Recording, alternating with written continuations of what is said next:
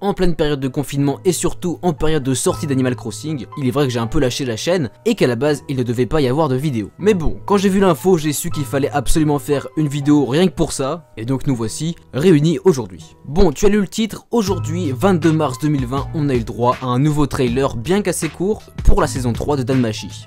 Alors pas de panique, évidemment ça réapparaîtra dans Anime News, pour que tout le monde ait l'information évidemment.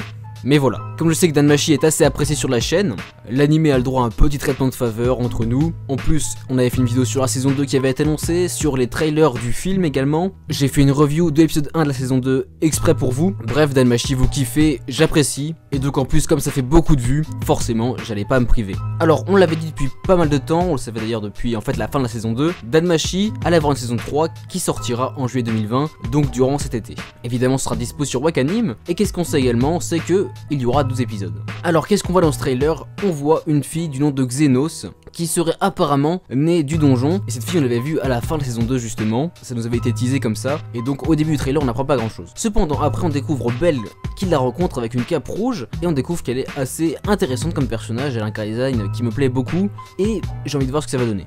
En réalité le trailer en dit pas grand chose, Mis à part que ben, cette information, le fait que cette fille soit née du donjon, ça crée un gros bordel dans la ville, évidemment, dans Horario, hein, et donc forcément ça va créer des péripéties, des épreuves pour tous les personnages. À la fin, il découvre une espèce de monstre, plutôt étrange, on n'y voit que les yeux rouges, ça ressemble à un minotaure, mais bon voilà, on a très peu d'infos, même à la fin, là, les écritures ne disent pas grand chose finalement, mis à part des choses qu'on sait déjà.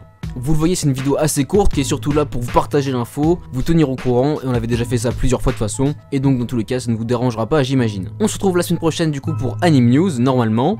Bref, c'était Alka du bâtiment de l'information. Bye tout le monde.